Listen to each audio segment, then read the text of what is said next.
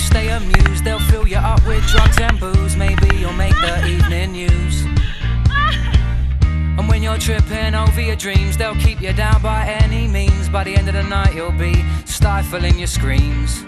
And since you became a VR person, it's like your problems have all worsened. Your paranoia casts aspersions on the truths you know. And they'll just put you in a spotlight and hope that you'll do alright.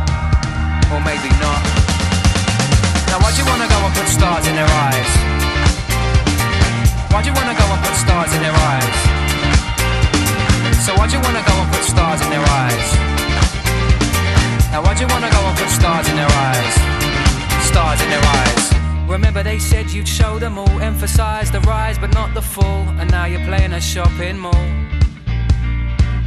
Your mum and dad they can't believe what you appear to have achieved, while the rest of these users are just laughing in their sleeves.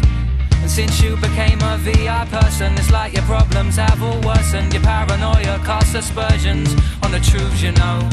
And now the tabloids use your face to document your fall from grace. And then they'll tell you that that's just the way it goes. That's just the way it goes. And it's a long way to come from your private bedroom dance routines on Saturday nights, drunken dreams. Now,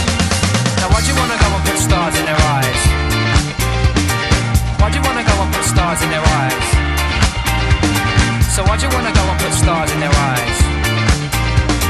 Now why'd you wanna go and put stars in their eyes?